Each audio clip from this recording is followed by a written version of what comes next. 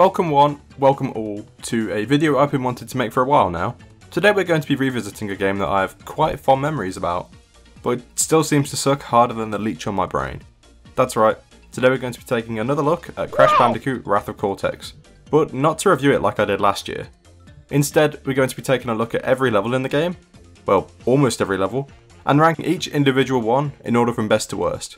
There are a few rules that I'm going to explain shortly, but if you like this kind of content or have suggestions for other videos I can make, then leave them down below in the comments.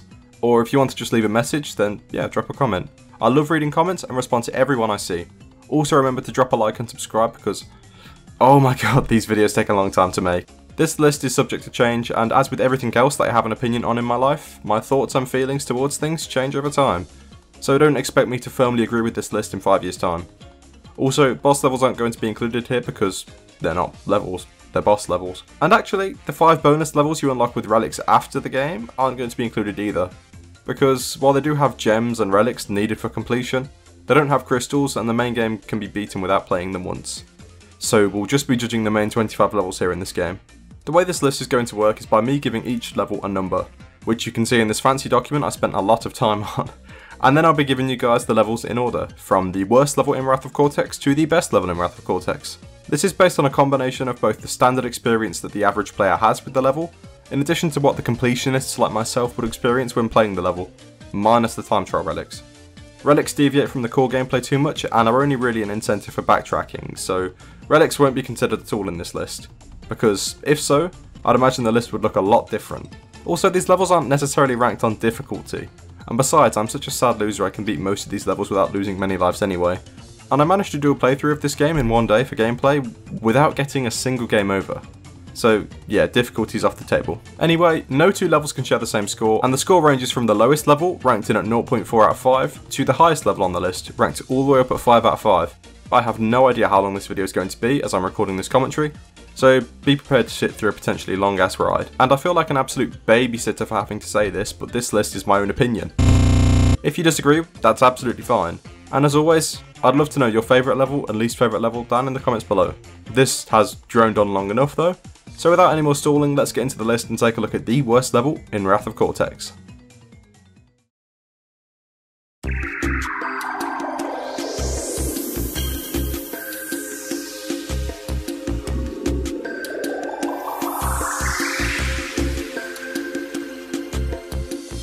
The level that I believe to be the worst level in Wrath of Cortex is Seashell Shenanigans. The level itself is infamous for being underwater, and mostly controlled in this yellow hulking mess that takes way too long to turn and is incredibly susceptible to damage for being a gigantic vibrant metallic mass. The sub itself moves clunky and can make box breaking a pain in the ass, which isn't helped by the Wumpa Fruit that only serves to obstruct the projectiles from the sub. The gem isn't too hard to get here, but it's a general unpleasant experience. The level looks miserable, the enemies are dull, and the gameplay is mediocre. The exact same can be said about number 24 on this list. Coral Canyon is very similar to Seashell Shenanigans, and thus is just as shit. Everything mentioned in Seashells applies to this level too, except when you eventually get out of the submarine and enter free swimming, you can now use the Death Tornado spin that you got from the third boss underwater, meaning that the swimming feels, dare I say, enjoyable? I mean, it's still Wrath of Cortex sub-levels, so it's still the absolute bottom of the barrel in terms of gameplay quality. That's the only reason for a higher score though. Anything below a score of 2 on this list is still absolute shit. That sinking feeling is exactly what I get when I look at this level. Take a chaotic environment with kamikaze planes, add turrets that target you and distract you from the objectives, no real way to break boxes, and a repetitive cycle of shooting boats in a vehicle you only control once. And you have this level. The design on the vehicle itself here is unique, but the lock-on controls need a lot of fine-tuning to be considered even, like, acceptable. And even then, the level itself feels kind of out of place and irrelevant. This is the only place in Wrath of Cortex where this vehicle is used. Thankfully though, it's over quickly, and there isn't an awful amount of boxes to break. Still feels insanely awkward, and I don't think it should be in the game though. A similar flying level in terms of quality? Um, sure. Tornado Alley is simply a fuck festival level. For the second level in the entire game, this is simply appalling. The music in this stage seems to not fit the environment at all. There's a loud repeating sound that gorges on my eardrums every time I play this, and fly this incompetent piece of shit. It's kinda like that sinking feeling but with better controls, in a better vehicle. Except if that sinking feeling used this vehicle instead, I wouldn't have a sinking feeling about flying stages in this game. but Tornado Alley would still be a fuckfest, easily the worst level in the first part of the game. Now the final underwater level to be ranked in this list, all the way up at 21, is H2O H2O is a level that starts in a simplified, completely lateral area in the submarine, having Crash completely traversed to one side until he emerges in an underwater laboratory. The platforming part in the lab is a nice change of pace from the fucking god-awful start this level suffers from, but ultimately H2O still sinks to the bottom of the list. It bears resemblance to the sewer stages from Crash 2, which actually execute gameplay a lot better than this level, and those levels even manage to be more vibrant than this. Everything just seems washed, the enemies are the same from the first warp room, the enemies aren't even a problem, as there's too much space to move around them, it's just a very mediocre stage at best. Now moving on to number 20, one of two levels to feature the Jeep. Smokey and the Bandicoot is a bad level, and a bad reference to a movie that I know absolutely nothing about, and is completely irrelevant to the level, because the only bandit I'm interested in is this Bandicoot. Thanks, thanks, thank you. Thank you, okay, yeah, th thank you, thank you. Okay, thank you, thank you. It's a race level where you can only drive forward, slowly turn left and right to avoid obstacles and break boxes, and try to race faster than the NPCs in order to get the crystal. The level is this far down the list for the Jeep's slippery controls, and the fact that you can't reverse to break boxes, meaning that if you miss a box, you need to restart the entire level in order to get the gem. And don't even think about getting the gem and the crystal in one run here. Not a fun level, but I mean I'd rather play it than the ones before it. Better than the underwater levels, even if not by much.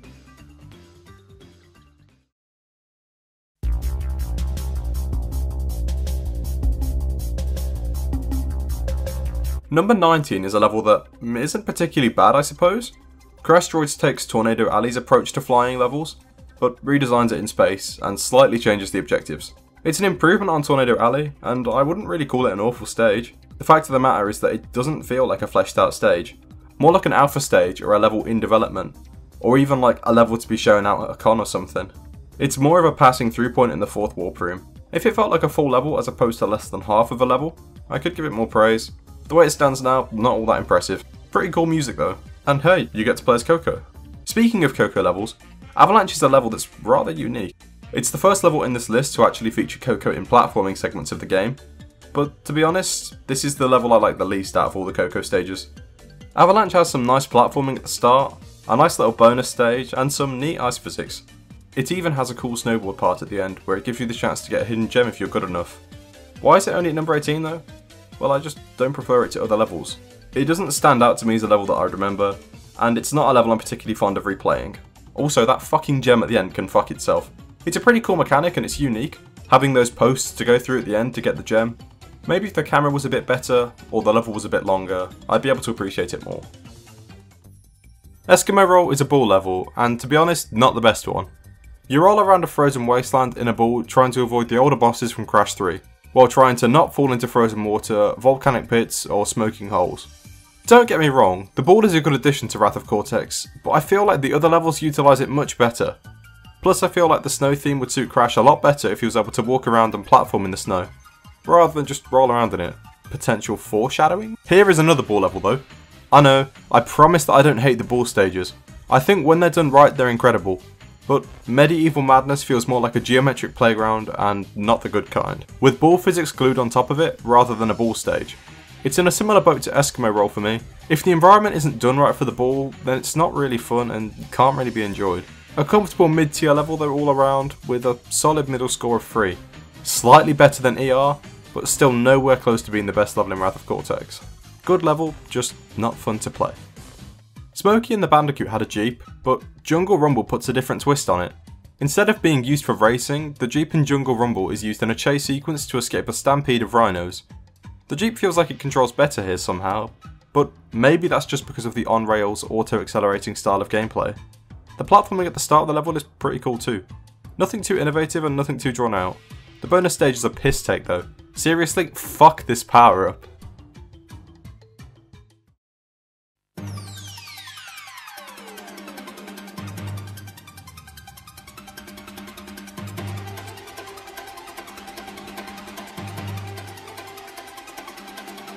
Oh man, do I have some stuff to say about the mech suit in this game. The mech suit is only used in a small handful of levels here, like most vehicles in Wrath of Cortex, one of which being Crate Balls of Fire. It's used in a chase sequence here to escape a rolling inferno blazing through a space station. Um, pretty cool. The mech is used quite differently in this level compared to the other major levels it's used in, to be honest. But besides that, I don't really have much to say. Only that the other mech levels are better in my opinion. And we'll be talking about them very soon. Before that though, number 13, Tsunami. Another one of Coco's platforming stages. Tsunami features an oriental theme, which is a stark contrast to the snowy environment found in Avalanche, but it bears resemblance to the oriental stages in Crash 3. The weather and environment here both work pretty well with each other, and the lighting only serves to complement them both. You also get to use a unique scooter here which controls kinda well actually, quite sad that it's only around for this one level. All in all, Tsunami is a pretty acceptable level. I don't have much to say about it, it's not good, it's not bad, it's bang in the middle, which is exactly what's here at number 13. Now for the better mech stage. Droid Void starts off with some platforming and some incredibly slow monkey bar segment, which, yeah, is quite painful, and it's the main reason the level's brought all the way down here, to be honest. Otherwise it'd be a lot higher in the list. But anyway, the electric time platforming combined with the whole other part of the level where you control a mech through a mechanical maze suspended in the depths of space. Honestly, I quite enjoy this level. The start is monumentally slow, but that's a trait comparable with most space station levels in Wrath of Cortex to be honest. The aim of the mech is quite dodgy too, and doesn't work half the time. I feel like it should be placed higher than Crate Balls of Fire though, because, as a stage, the only redeeming quality about that level is the mech chase. Droid Void has a slow start, but it's a brilliant level overall, and a long one at that. One that I'm quite keen on. And all in all, the first level on this list that I would truly consider good. Up there are my favourites. Not to say that this is the best level, the levels that come after this are of course better, but one of my personal favourites.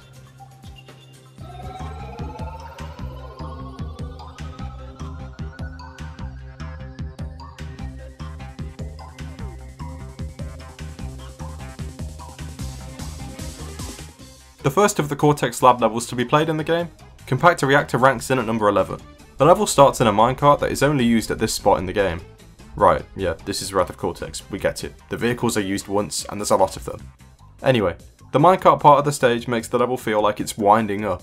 The music starts developing as the minecart feels like it picks up speed, with numbers of nitros littering the tracks. As the tracks reach the end, you get thrust into this underground complex and begin your platforming journey through the excavating factory. The level is quite impressive. There's a whole yellow gem path at the start you can go for for a bonus gem, loads of platforming, and a neat bonus stage. A brilliant close to the first warp room in the game. Entering the top 10 levels in Wrath of Cortex now, we have Bamboozled, the last level on this list to be exclusively a vehicle level. Bamboozled is a very nice level, looks wise and play wise. Easily the best rolling ball level in the stage. I talked about it in my review of this game, and how the environment that the level offers feels natural to control, that the level itself acts as an extension of the ball gameplay itself, which is a very roundabout way of saying that the level is made very carefully with thoughts of gameplay in mind, which makes it very fun to play. Also, the music matches everything about this level, the art direction, the unique theme. Bamboozled is a very good level, okay?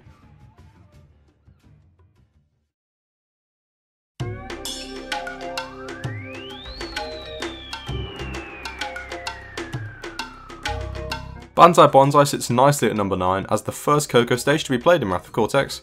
A stage that features exclusively platforming in an oriental paradise with ninjas, cranes and a small dragon. Yes, I praise this stage a lot in my review of this game, because this is a level that I do indeed like a lot. Definitely the best of the Coco stages in the game. It's also the only level in the game that features a secret power up you can get by taking a gem path. All around, yeah, an impressive level and much better than its counterpart Tsunami. Wuthering Heights is an interesting level to be honest, and one that appears near the end of the game. It also reminds me of that one achievement from Minecraft. Wuthering Heights is a level that has a very generic theme, but still feels amazing to play. Minus this part right here. Oh my god, I'm getting Droid Void flashbacks. The bonus stage here is great, the enemies are great, the music's great, it's all very very exhilarating. These 2D scrolling parts too, absolutely brilliant. That classic formula that Crash was known for, using 3D platforming in a 2D plane, this level is probably this game's best example of it. A solid number 8 entry into the list of best levels in Wrath of Cortex.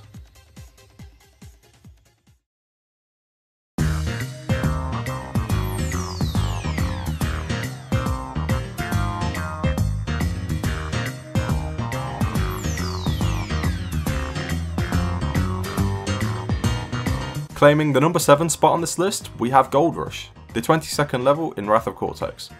Gold Rush is a platforming stage featured around a stereotypical western mining town. with prospectors using dynamite to blast away um, the streets for some reason. These vultures and throbbing cacti for some reason. Gold Rush is a long level, longer than Droid Void, and probably the biggest level in the game, with a monumental box count to match. There's also this weird rail cart section halfway through, which isn't quite the same as the minecart and slows the pace down quite a lot and feels kinda pointless. But nothing slows down a level more in Wrath of Cortex than, say it with me, these monkey bar segments. The platforming here, sure it's great, but Gold Rush in general is a bag of star mix that's half eggs. The good parts, yeah sure they're amazing, but take a random look at any point in the bag and you might be disappointed. Bet you didn't expect me to put this level here, did you? I don't know if it's the sheer amount of times I've played this level, or how I can remember it like the back of my hand, but I love Arctic Antics. I think it does the job of being a first level really well. Ignore what this loser says here about it, and I quote, being fine. No, no, no, no, no. No, Arctic Antics is not fine. Arctic Antics stands to be one of the best levels in this game. Not just any old level that gets a good old 4.2 out of 5, although the jump to the death route I always seem to miss and I have no idea why. The stage is basic enough and fun to complete while providing challenge with no abilities unlocked. The gem isn't painfully difficult to obtain here on your first run, and there's a nice death route to give you that coloured gem if you want it. Even the coloured gem matches the theme here, come on. Truly, truly beautiful stuff. Going from the first level in the game to the final level in the game now, it's funny how that happens, isn't it? Cortex Vortex is another level on one of Cortex's space stations, which I already mentioned to have very slow starts. The level exclusively features classic platforming, and to be honest, that's what makes it so great. No slow monkey bars here, just kinda slow platforming at the start. No ridiculous vehicle you see only a handful of times. Just standard platforming with standard enemies that are acceptable. A very good level and a great way to end the game. Getting into the real, close contested best levels now. Wizards and Lizards is a very nice crap bash forming level, with a dragon chase sequence, which is the entire reason that the level is iconic to me by the way. There's wizards and bats that litter the whole level, in addition to knights and smouldering coals that fly out from the fire towards you. Overall, I really like this level, and don't believe I'm alone on this. This seems to be a rather popular opinion. Just like Arctic Antics and Gold Rush, there's a death route in this level that you can try for a coloured gem, which seems to be a theme along these popular stages funnily enough. Wizards and Lizards regardless though, a very good stage. This stage, oh man. Take everything that Wizards and Lizards did right and do it better, minus the chase sequence. The Gauntlet is a very nice middle ground stage in terms of platforming difficulty, needing you to make use of the double jump that you just recently unlocked from the second boss. The enemies here aren't anything new, mostly reused from the stage we just talked about, but the hazards are really what makes the stage. And I don't even think I have to say it, but yes, I'm going to anyway. This level has a death route with a chance for you to get a gem, but I'm not going to mention it because the next level does too, and I'm tired of saying the words death route. But yes, Crash and Burn crashes in at number 2, as the second best level in Wrath of Cortex. At this point in the game, you've just unlocked every core ability, and while you can have a fun and comfortable time playing this level without using them, the power-ups make this level really fun to play, and Crash and Burn really creates a playground for you to test them. I think visually where the level really shines for me though is with the bonus stage, that gives you a full view of the Volcano Lab in the background. Fucking amazing. An absolutely beautiful level, even with these parrots that like to headbutt the floor. However, there is still one level that stands out as the best. But before we go to the number one best level in Wrath of Cortex, let's take a look back at the levels we've covered so far. Number 25 was Seashell Shenanigans, a poor excuse for an underwater level. Number 24 was Coral Canyon, an ever so slightly better execution of number 25, but still just as bad. Number 23 was That Sinking Feeling, followed by number 22, Tornado Alley. Two awful flying stages. Number 21 was H2 Oh No, the only other underwater level in this stage that is a bit better than the previous levels. Number 20 was Smokey and the Bandicoot, a mediocre race level with bad controls. Number 19 was Crashteroids, not a bad level, but pretty much an unfinished level. Number 18 was Avalanche, the worst Coco platforming stage. Then we had Eskimo Roll at number 17, the worst of the ball stages in this game. Number 16 was Medieval Madness, an unpolished stage that doesn't feel designed for the ball. Number 15 was Jungle Rumble, which saw the return of the Jeep in a chase sequence, not all that much better though, just okay at best. Number 14 was Crate Balls of Fire, a platforming turned mech suit chase level, rather unique and in all fairness not too bad. Number 13 was Tsunami, a comfortable Coco stage with basic platforming, a nice chase sequence, and a brilliant environment and colour palette. Number 12 was Droid Void, A level that I like quite a lot, but suffers from a slow start and not being all too memorable, all things considered. Number 11 was Compactor Reactor, a level with simple but neat platforming, but an unusual vehicle at the start. Number 10 was claimed by Bamboozled, the best ball stage in Wrath of Cortex, with absolutely beautiful design and comfortable controlling around the geometry. Number 9 was Banzai Bonsai, the first Coco stage in the game, which is basically a superior version of Tsunami. Number 8 was Wuthering Heights, a nice linear run through of classic platforming. Number 7 was Gold Rush, the absolute marathon of a level itself, with some of the best theming in the game. Number 6 was Arctic Antics, an example of an introductory stage done right. Number 5 was Cortex Vortex, an example of a closing stage done brilliantly. Number 4 was Wizards and Lizards, followed by number 3 the Gauntlet. And the number 2 spot, we had the volcano level of Crash and Burn. So, it should be obvious what the number 1 level is. Without further ado, let's take a look at the number 1 level in Wrath of Cortex.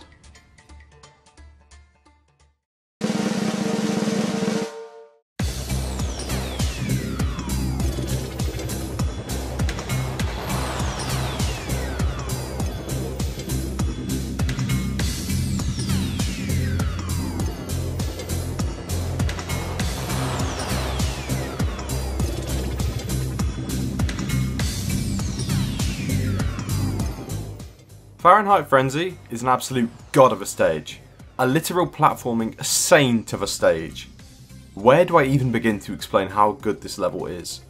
Well, let's start at the start, of course. The level begins in an intriguing lava-filled cave, with red haze coating the level and everything in vision. If you didn't already notice too, you start the level in a vehicle, which actually controls pretty good. Sadly, it's only used at one point in the game, like many other vehicles in this game, but it's just a flight through a linear hallway avoiding obstacles and such. Not too bad all things considered. Then just like Compactor Reactor, you're thrown into the middle of a mining complex. But this factory is literally seeping with heat so intense that I can hear my GameCube heat up. There's plenty of red fog here partially obscuring the level, which goes absolutely amazingly with the streams of hot lava pouring straight through the factory for some reason. It's also incredible how neither the lab assistants or Crash have been cooked alive down here. Fahrenheit is also a mammoth of a stage, so have fun clearing the level while running over conveyor belts, avoiding giant pistons and fire vents, running through an x-ray machine and trying to ignore Cortex's absolutely useless minions.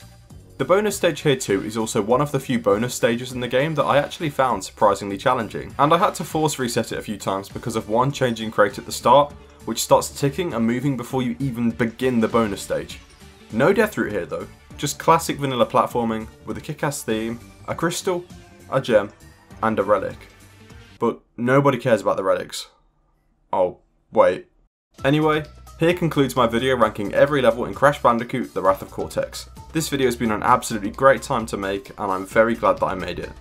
Sorry about the lack of uploads, most of my time recently has gone into making this video, which, oh my god, has passed over 20 minutes now. I plan to make more videos like this in the future as it adds variety to the reviews, and I also intend to start making Let's Plays, so let me know what you think about that in the comments. If you like this video, then subscribe, share it with your friends and drop a thumbs up and a comment. Also feel free to check out my other videos on the channel and go find one that you like. This video has gone on long enough though my friends. My name is Flynny and this has been the rankings of every level in Wrath of Cortex. Thank you ever so much for watching and take care.